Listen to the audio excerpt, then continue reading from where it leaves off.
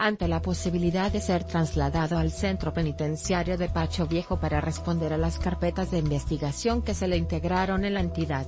El exgobernador Javier Duarte no ratificó su escrito de desistimiento de apelar la sentencia que le fue impuesta para pasar nueve años en prisión, y multa de 58 mil pesos.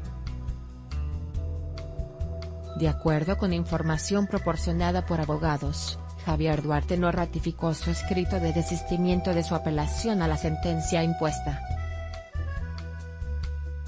En su lugar el exmandatario estatal optó por continuar con su recurso de apelación, y así evitar ser trasladado al centro penitenciario de Pacho Viejo. Puedes leer, Javier Duarte se desiste de apelar sentencia de nueve años se comentó que esto se debe a una estrategia legal para que al exgobernador de Veracruz no se le traslade, pues al no ser sentenciado con categoría de cosa juzgada no se le puede trasladar hasta terminar su proceso actual federal.